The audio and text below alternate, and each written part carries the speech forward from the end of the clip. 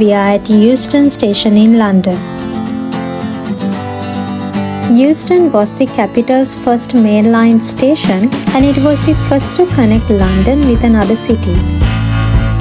The original Euston station opened in 1837 but it was completely rebuilt by the British Railways in 1960s in conjunction with the electrification of the West Coast Main Line reflecting the modern railway era.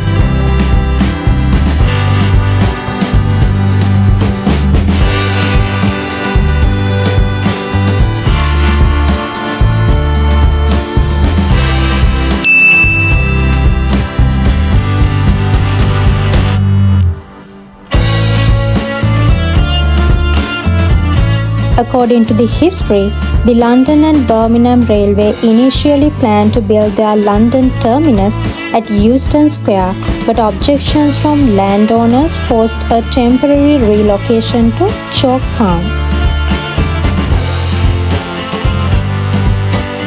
After securing permission, Robert Stephenson led the project of Euston Station featuring a grand Doric arch opened in July 1837 with the first intercity journey to Birmingham taking place in September 1838.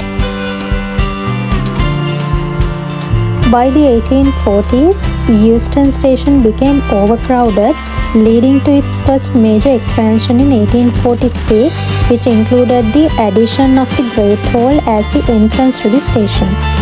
Continued growth in traffic led to further expansions in the 1870s and 1890s, ultimately increasing the station to 15 platforms by the end of the century.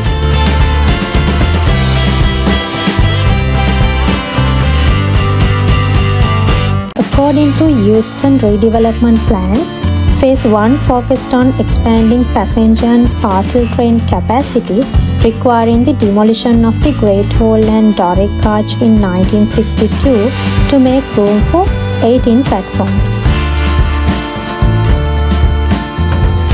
Phase 2 introduced a spacious, modern courtyard with new facilities and access to London Underground services while preserving a few elements of the original station such as the London and North Western Railway War Memorial and Robert Stephenson statue. London Euston is the southern terminus of the West Coast Main Line, so it's a getaway from London to popular destinations like Birmingham, Liverpool, Manchester, Edinburgh, and Glasgow. You can buy tickets online or on site from the ticket office, which is near the western entrance of the station.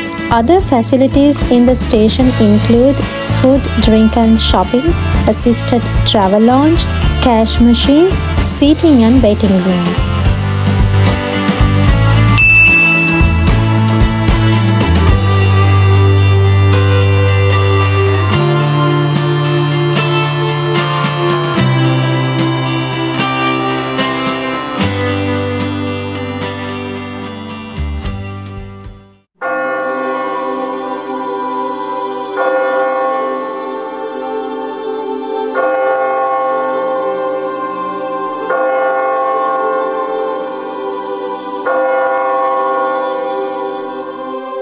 Now we are at St. Pancras Parish Church.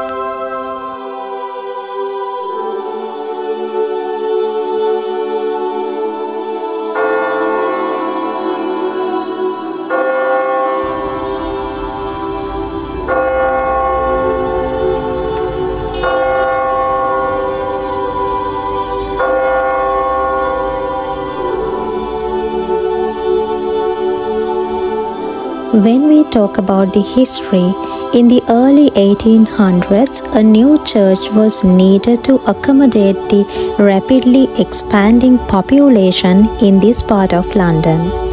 It was to replace the ancient parish church to the north, where the original population had moved away and the building had fallen into disrepair. The competition to design the church was won by local architects William Inwood and his son Henry William Inwood. Finding inspiration in both Athens and London, they copied the Tower of the Winds and the two caryatid porches from the Acropolis and followed St. Martin in the Fields in building a large iconic portico at the west end of the church. As a significant early example of Greek revival architecture in London, the church holds a Grade 1 listing on the National Heritage Register for England. The foundation stone for the church was laid in 1819 by the Duke of York and the building was completed in three years. It was the most expensive church in London after St. Paul's Cathedral at that time, and the builder of this church was Isaac Seabrook. The church was consecrated on 7th May 1822 by the Bishop of London. It has been used for worship ever since.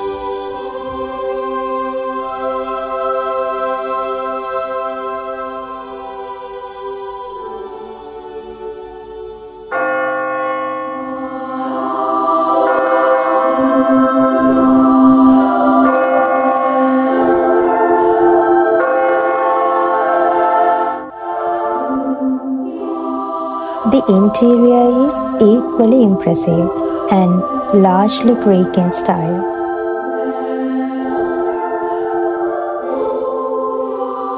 Most of the church's original features remain, although some reordering has taken place.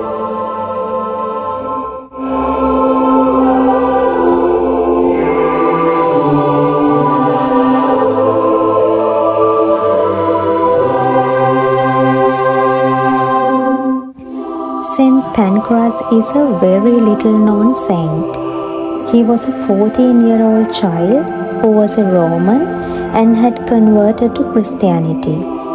As a result, he was martyred for his beliefs, but he is still remembered.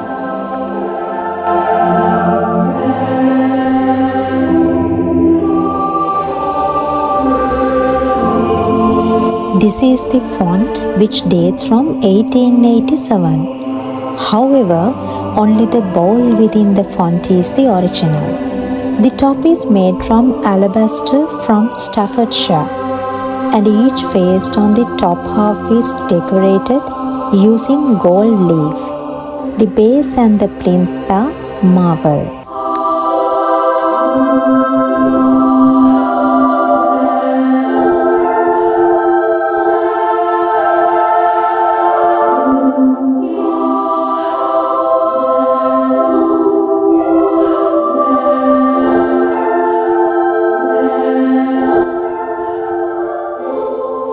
Pulpit was made in 1822 with wood from the famous Fairlop oak in Hainault Forest, which had blown down in a gale two years earlier.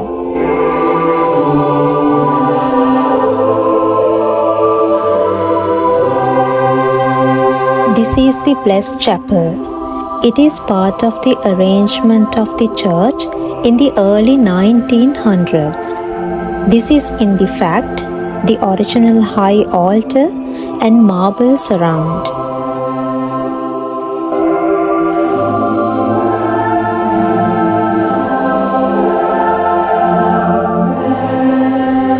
The church had clear glass windows when it first opened, and the three east windows were installed in 1866.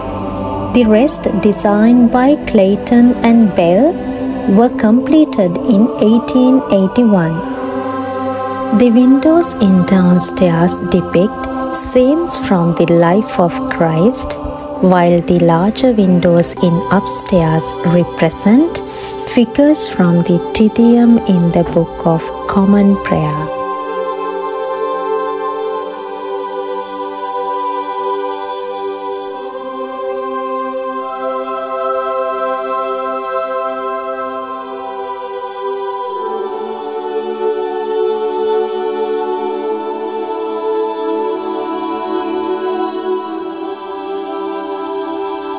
The organ built originally for the new music hall in Birmingham is by Gray and Davison. It was in 1864.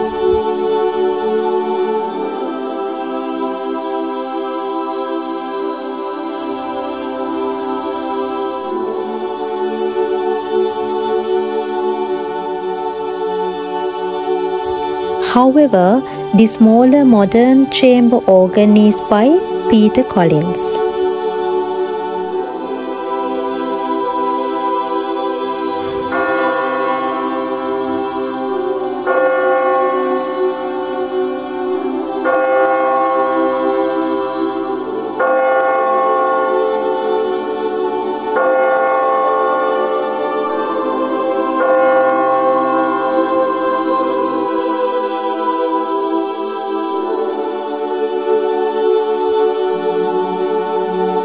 Sets of Greek caryatids support the porches over the crypt doors.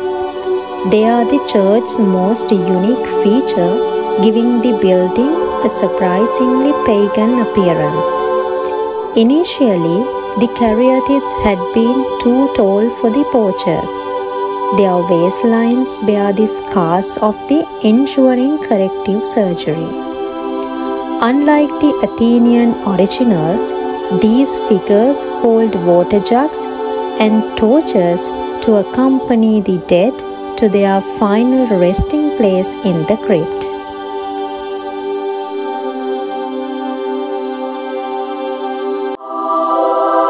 The crypt of St. Pancras Church was used for burials between 1822 and 1855 when burials in central London ceased only 560 interments took place, which left many of the vaults empty. The crypt served as an air raid shelter for local residents in both world wars.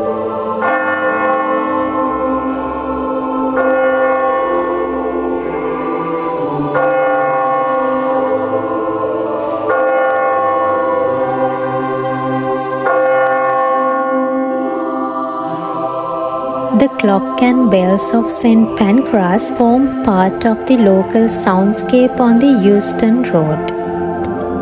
All eight bells can be rung by one person as they are linked to a chiming apparatus in the bell tower.